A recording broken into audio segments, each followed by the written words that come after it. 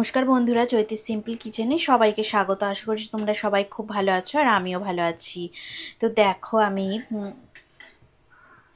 আমি তোমাদের জন্য আজকে একটা পায়েসের রেসিপি নিয়ে চলে এসেছি। তো প্রথমেই বড়দের প্রণাম আমার ছোটোদের ভালোবাসা জানিয়ে আমি আমার রেসিপি এখন থেকেই শুরু করছি।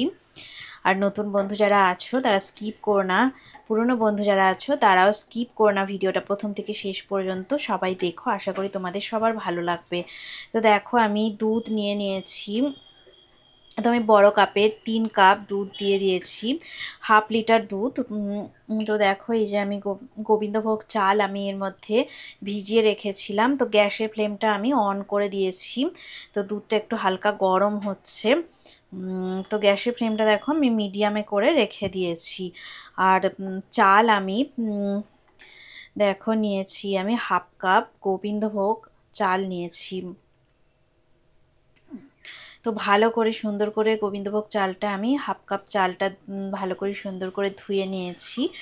আর ধুয়ে দেখো আমি এই যে হাফ লিট হাফ লিটার দুধের মধ্যে দিয়ে দিয়েছি। তো এই যে এখন গরম হচ্ছে, একটু সামান্য গরম হয়েছে। তো ভালো করে দেখো, আমি নাড়াচাড়া করে নিচ্ছি গ্যাসের ফ্লেমটা অন করে দিয়ে। না হলে নিচের দিকে চালগুলো বসে যাবে। মানে আর কি লেগে যাবে, এই পাত্রে লেগে গেলে তখন আবার খুব অসুবিধা হবে। তাই দেখো, এই কন্টিনিউ এইভাবে নাড়াচাড়া করতে হবে।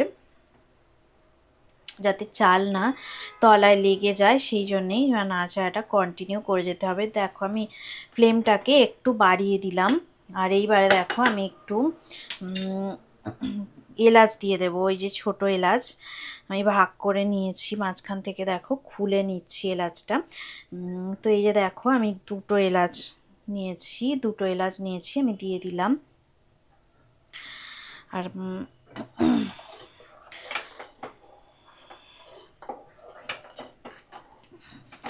দুধটা হালকা ফুটতে শুরু করেছে।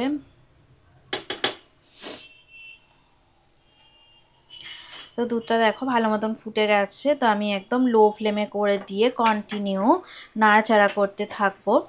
তোমরা একবার হলেও এই রেসিপিটা বানিয়ে দেখো। তো খুবই সুস্বাদু খেতে লাগবে। তো খুব সুন্দর লাগবে। দেখো আমি ভালো করে দেখো নাড়াচাড়া করে নিচ্ছি। আর এই নাড়াচাড়া করার মধ্যেই আমি একটা জিনিস দিয়ে দেবো। তো দেখো, আমি কিছু কাজু বাদাম নিয়েছি আর আট দশটা কাজু বাদাম। তো কাজু বাদামটা আমি এখনই দিয়ে দিলাম। দেখো, ভালো করে আমি নাড়াচাড়া করে নিচ্ছি। দুধটা ভালো মতনই ফুটে গেছে, তো ভালো করে সুন্দর করে দেখো, নাড়াচাড়া করে নিতে হবে। তো আমি কি কি দিয়ে দিয়েছি দেখো, দু পিস আমি এলাচ দিয়েছি, ভালো করে ছিঁড়ে নিয়ে এলাচটা টুকরো করে নিয়ে আর কি এলাচ দিয়েছি, আর দুটো এলাচ ছোট এলাচ আর কি দিয়েছি। আর দেখো আমি কাজু বাদাম দিয়ে দিয়েছি, তো ভালো করে দেখো, আমি নাড়াচাড়া করে নিচ্ছি। তো এইভাবে 10 থেকে পনেরো মিনিট এইভাবে নাড়াচাড়া করলে চালটা দেখো সিদ্ধ হয়ে যাবে। তো দশ থেকে পনেরো মিনিট পরে আমি ফিরে আসছি। তো দেখো কন্টিনিউ আমি নাড়াচাড়া করে যাচ্ছিলাম, তলায় তো লেগে যায়নি সুন্দরভাবে দেখো ভাতগুলো এখন সিদ্ধ হয়ে গেছে, চালগুলো সুন্দর সিদ্ধ হয়ে গেছে, এবারে আমি ভিজানো কিশমিশ দিয়ে দেবো। কিশমিশ দেয়া হয়নি। তো দেখো, আমি পনেরো কুড়িটা কিশমিশ ভিজানো অবস্থাতে রেখে দিয়েছিলাম। কিছুক্ষণ জলে ভিজিয়ে, পনেরো মিনিটের মতো জলে ভিজিয়ে রেখে দিয়েছিলাম। তো এই দেখো, আমি কিশমিশ দিয়ে দিলাম।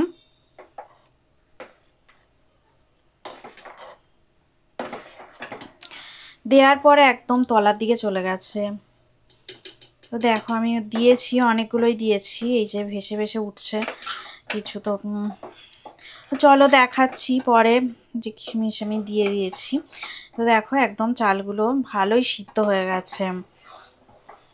তো আরও কিছুক্ষণ, পাঁচ মিনিট আমি একটু নাড়াচাড়া করে নেব। এটা দেখো, আমি নলেন গুড় দিয়ে পায়েসটা করছি। তো একদম দেখো, এই যে কিশমিশ, আর একটু পাঁচ মিনিট সিদ্ধ হবে কিশমিশটা।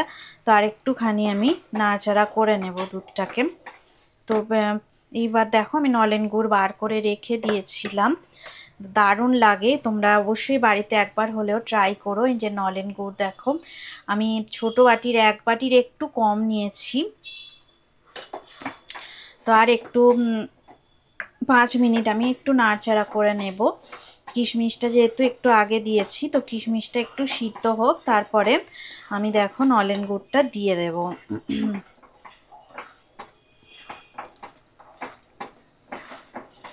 এতে আমি অন্য কোনো ধরনের মিষ্টি বা কিছু ইউজ করছি না। কারণ নলেন গুড়টা তো অনেকটাই মিষ্টি, এটা মানে কিছুই দেওয়ার লাগে না। কোনো চিনি বা মিছরি কিছুই দেওয়ার লাগে না। একেবারে নলেন গুড়টাই আমি দিয়ে দেব। একটু আর দু থেকে তিন মিনিট ভালো করে আমি নাড়াচাড়া করে নেব। এই পায়েসটা সুস্বাদু খেতে লাগে, খুবই সুন্দর, দারুণ লাগে শীতকালে। সবাই ঘরে ঘরে এই পায়েস বানায়, তো তোমরা অবশ্যই একবার হলেও ট্রাই করো, পায়েসটা দারুণ খেতে লাগবে।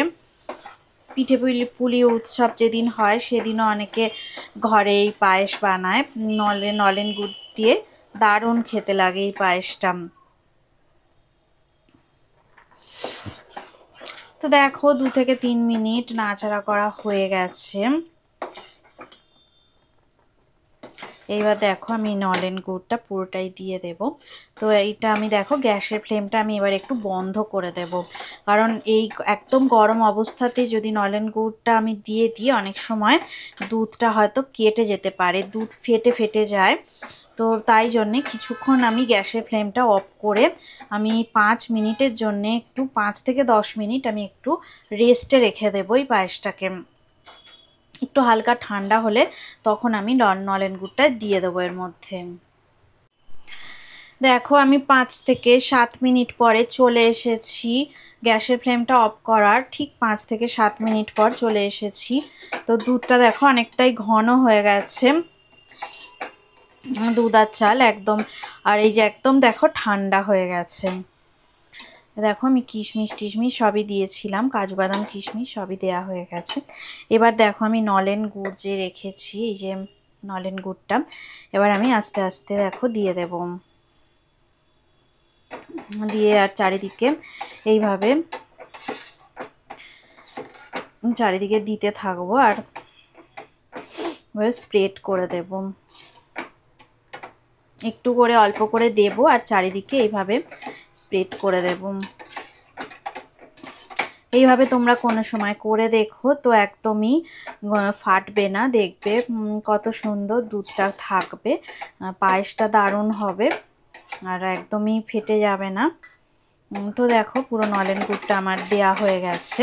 কালারটাও দেখো, কত সুন্দর এসেছে। হাফ বাটি নলেন গুড়টা আমার মনে হয়েছে কম। আমি আরও হাফ বাটির মতো নলেন গুড় দেখো নিয়েছি, আর এইভাবে দেখো কন্টিনিউ স্প্রেড করছি এবং ঢেলে দিচ্ছি আর স্প্রেড করছি।